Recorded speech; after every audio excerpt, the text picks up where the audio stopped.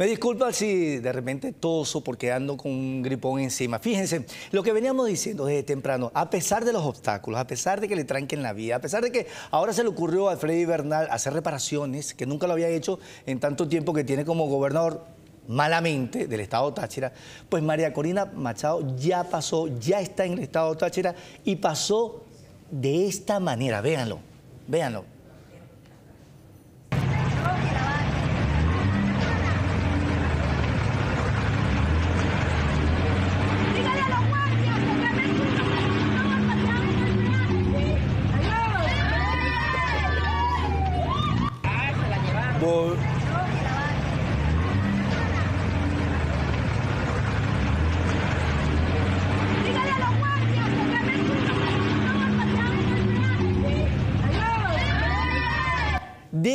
A la guardia que allá yo estoy en el estado de Táchira y que abran el paso. No la detienen. Imparable María Corina Machado. Ya está en el estado de Táchira.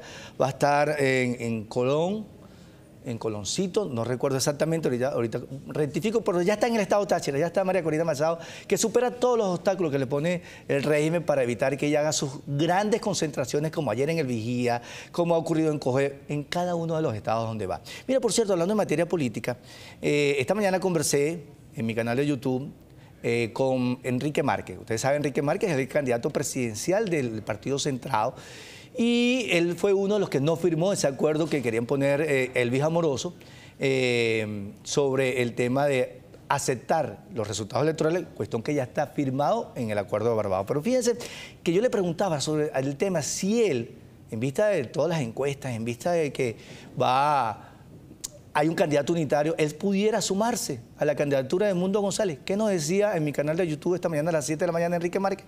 Veamos. Mira, efectivamente yo estoy en el line-up de la oposición. Yo soy opositor durante todos estos años. He estado en posiciones críticas al gobierno, no solo críticas, opositoras frontales. Y no, y no es en esta campaña cuando me voy a desviar de ese camino. Por supuesto que, que, quiero, que quiero que esto cambie, deseo que esto cambie. Y mi candidatura busca precisamente esa posibilidad. Este, estando en el line-up, tengo que analizar efectivamente todos los acontecimientos que ocurren. En este caso, todo es posible que pase durante estos 30 días. Tenemos que estar muy pendientes porque el gobierno se sabe perdedor, a pesar de que muestre actitud triunfalista, se sabe perdedor, porque él también está viendo, me refiero a Maduro, al candidato del continuismo, también se sabe perdido, porque él está viendo encuestas y entonces hay que estar muy pendiente, porque este, este no es un gobierno democrático, este es un gobierno, sin duda alguna, totalitario, autoritario, y cualquier cosa puede ocurrir. De tal manera que tenemos que estar nosotros en línea, pendiente, no nos podemos sino eh, poner al servicio de un pueblo que ya decidió cambiar. Como lo he dicho, eh, no se vea la candidatura de Enrique Márquez como una candidatura que puede convertirse en un obstáculo. Muy al contrario, queremos facilitar las cosas.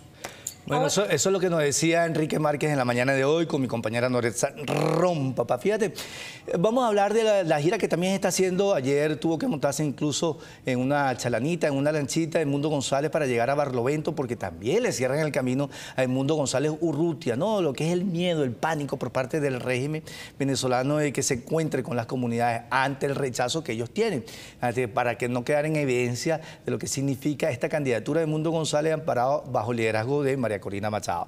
Por cierto, hoy he estado reunido, en, si no me equivoco, en la Universidad Central de Venezuela, donde ha dicho el Mundo González Urrutia, el candidato a la plataforma unitaria, que va a recuperar el sistema educativo. Porque yo insisto que esta destrucción del sistema educativo en Venezuela es a propósito. Ya lo dijo bien Simón Bolívar alguna vez, nos han dominado más por la ignorancia que por la fuerza. Y allí donde se afincan todas las dictaduras para poder manejar masa y no seres no pensantes. Veamos lo que decía Mundo González en la mañana de hoy.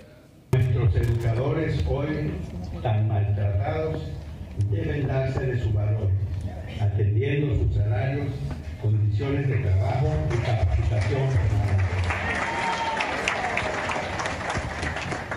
Debemos buscar espacios para desarrollar habilidades en corto tiempo, pero con alta calidad, para una incorporación más rápida y óptima al trabajo.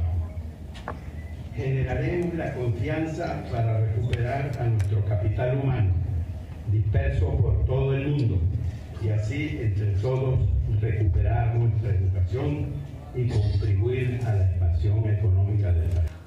Ustedes saben que también sigue la ola de persecución. Cerraron un restaurante, ya habían cerrado las empanaderas de las hermanas Hernández. Ahora le cierran, le cierran un negocio a la familia de César Pérez Viva.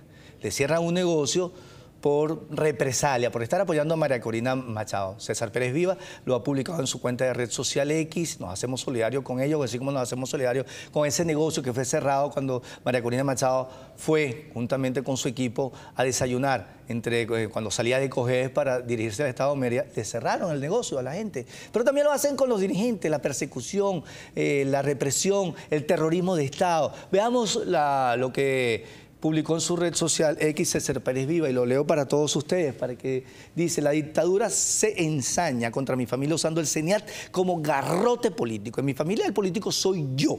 Mis hermanos son ciudadanos de trabajo que resisten la destrucción creada por el socialismo del siglo XXI, generando empleo y bienestar para la sociedad tachirense.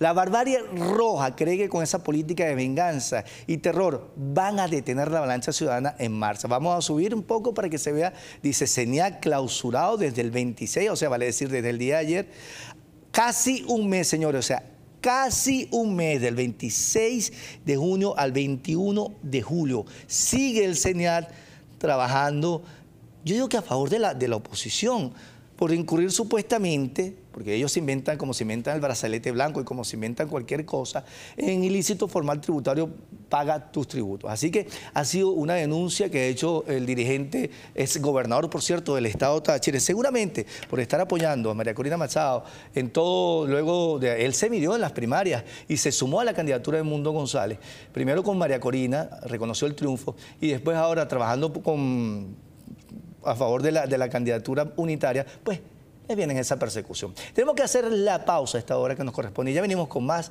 de El Citizen.